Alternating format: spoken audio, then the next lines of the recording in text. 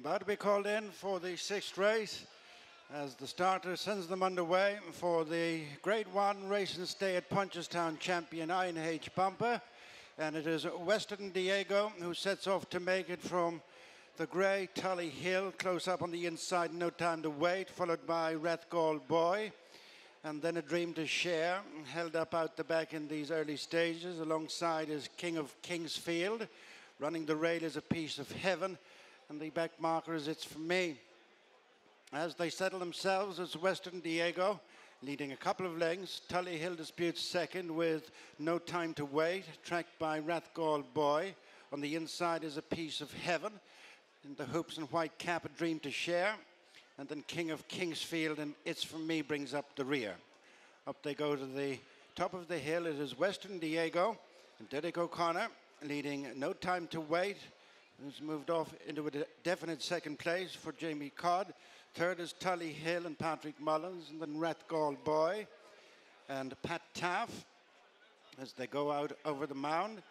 And these are followed by Piece of Heaven, Jack Hendrick on the inside of King of Kingsfield and Harry Swan, and then A Dream to Share, and John Gleeson bidding for a big champion bumper double. It's from me, Jody Townend out the back as they continue downhill to the final 10 furlongs. It's Western Diego, the leader from No Time to Wait. Rathgall Boy improves on the inside of Tully Hill. Then King of Kingsfield, a piece of heaven, a dream to share, and it's for me. Racing towards the far side. In front is Western Diego. Not so far clear of no time to wait. A couple of lengths to Rathgall Boy. Running off the bend, it's for me in the double green colours and has now tanked its way up through the field to pick them all off. And it's it's for me, moving from last to first to head west Western Diego. No time to wait. Tully Hill on the outside of Rathgall Boy, then King of Kingsfield, a piece of heaven. And the back marker is a dream to share. Reaching the halfway stage in the race and stay at Punchestown champion INH Grade 1 bumper. It's for me and Jody Townend lead from No Time to Wait. Jamie Codd and Tully Hill. Patrick Mullins disputing the third with King of Kingsfield, who's improved for Harry Swan. And Western Diego, who shuffled back into grey colours. Then a piece of Heaven Rathgall Boy has lost its pitch with a dream to share continuing at the back of the field. Stopping quickly is Western Diego with less than five furlongs to go. It's for me by two lengths to no time to wait. Just in third is Tully Hill, King of Kingsfield fourth, and then Rathgall Boy, a piece of heaven. The back mark of the leading group is a dream to share and is looping all on the outside and tailing off is Western Diego. Just over three furlongs to go. It's for me with a slender advantage over no time to wait. Tully Hill, King of Kingsfield, wide of them a dream to share, who's ridden up to join the leaders, then a piece of heaven, and Rathgall boys come under pressure as they tighten up.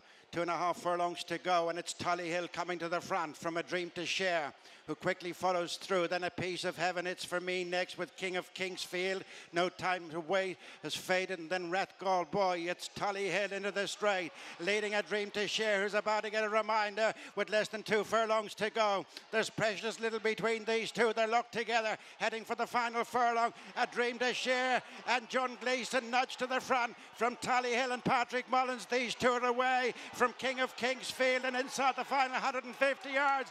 It's a dream to share moving away from Tully Hill as they run up to the finish. It's a dream to share wrapping up an outstanding season in the race and stay at Punchestown champion INH Grade 1 bumper for John Gleeson, John Kiely and JP McManus. Tully Hill second, King of Kingsfield third.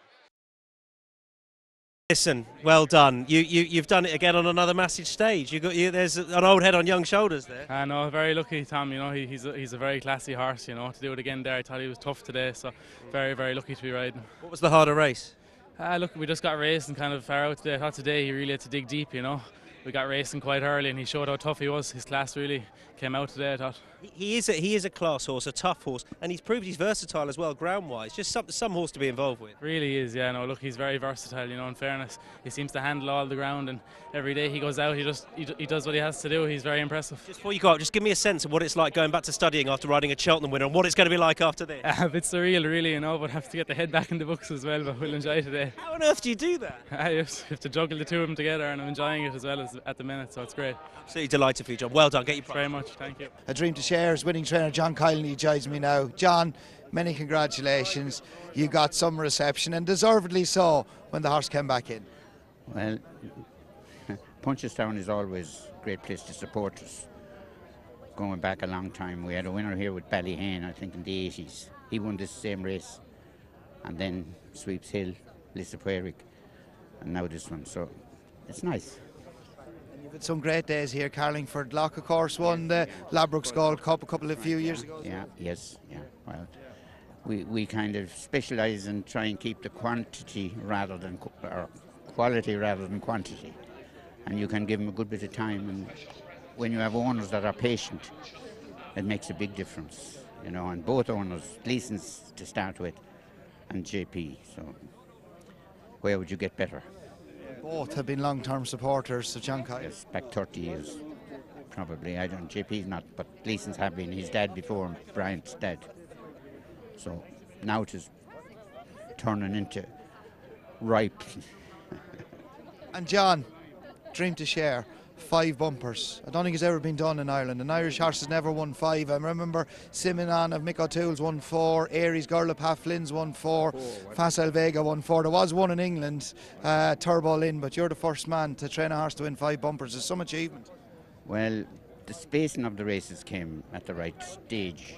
From the, getting a break after early in the year, coming back then for the Dublin Festival, space to Cheltenham, and then it's a nice space again here. Fairyhouse would have been soon. I don't think there was a race from Fairyhouse anyway.